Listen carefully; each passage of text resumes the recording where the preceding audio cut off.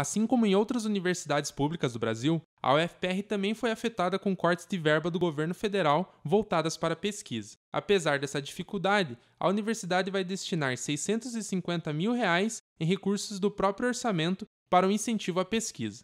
Esses recursos serão distribuídos em três editais internos e foram lançados pela Pró-Reitoria de Pesquisa e Pós-Graduação. Para o reitor Ricardo Marcelo, destinar recursos do próprio orçamento demonstra o compromisso da universidade com a produção de conhecimento. Nós sabemos que no antigo Ministério da Ciência e Tecnologia os cortes foram brutais.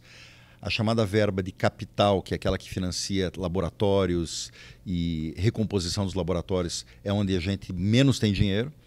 Então, diante desse contexto, que é triste, nós temos essa grande satisfação de colocar agora à disposição da comunidade científica esses três editais. Os editais abrangem várias áreas do conhecimento e atendem aos eixos estruturantes do atual plano de desenvolvimento da universidade.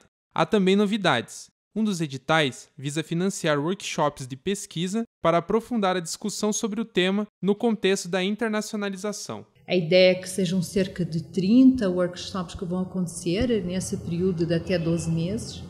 A gente já sabe de algumas consultas que a pós-graduação também vai ajudar né, naquilo que o orçamento que o edital disponibiliza.